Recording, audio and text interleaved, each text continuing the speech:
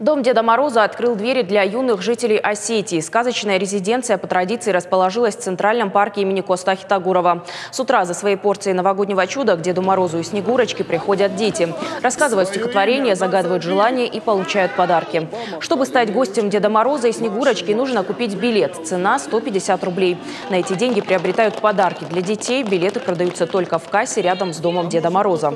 Резиденция новогоднего волшебника открыта каждый день. Работать она будет с 11 до 14 часов и с 16 до 19 часов.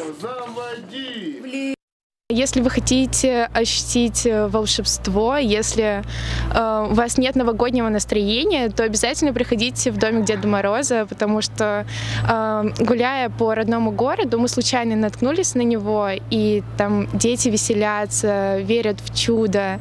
Просто для настроения приходите. Впечатления очень приятные. Попала в детство, дети в восторге. Рассказали стишки, хоровод и получили подарки.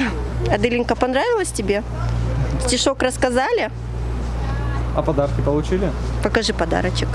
Да, и подарки получили.